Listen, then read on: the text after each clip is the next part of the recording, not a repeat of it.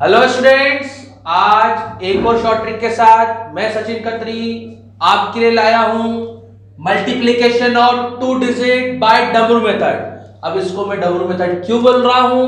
तो इस वीडियो को अंत तक ज़रूर देखें। मात्र पाँच सेकंड के अंदर आपका आंसर आ जाएगा। कुछ नहीं करना है।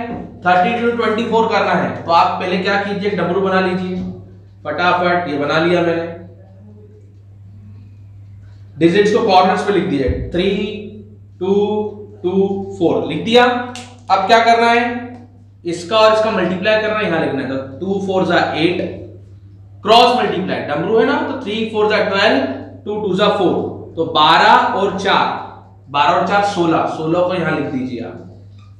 थ्री टू द सिक्स यहाँ लिख दीजिए। आपका आंसर आ चुका है।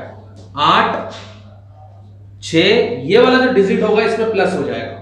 Six plus one, seven. Seven, sixty eight हमारा आंसर दूसरा क्वेश्चन ले लेते हैं. Forty two into fifty three. क्या करना है? अगेन एक डमरू बनाना है.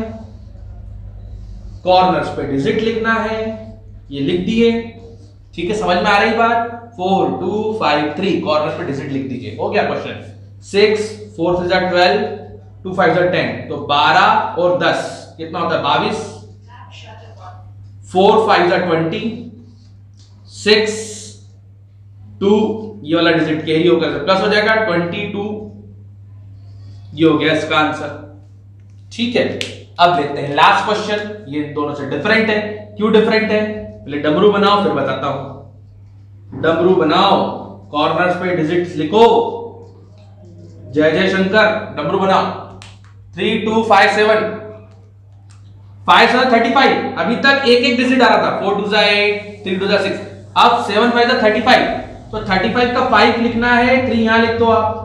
करना वही है नो टेंशन थ्री सेवन जा ट्वेंटी वन टू फाइव जा टेन तो थ्री सेवन जा ट्वेंटी वन टू फाइव जा टेन तो ट्वेंटी वन प्लस टेन कितना हुआ?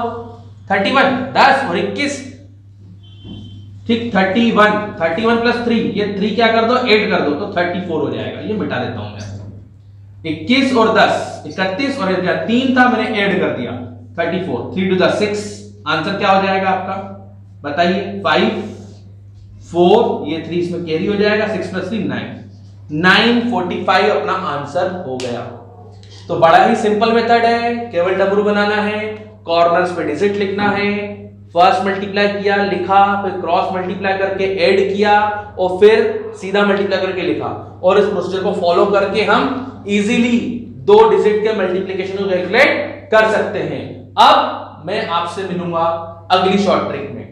तो बने रहिए मेरे साथ, कहाँ पर? युवा एजुकेशन पर। अगले वीडियो में आपसे मिलूँगा। लाइक कीजिए सब्सक्राइब कीजिए और शेयर कीजिए। जय मैं भारती।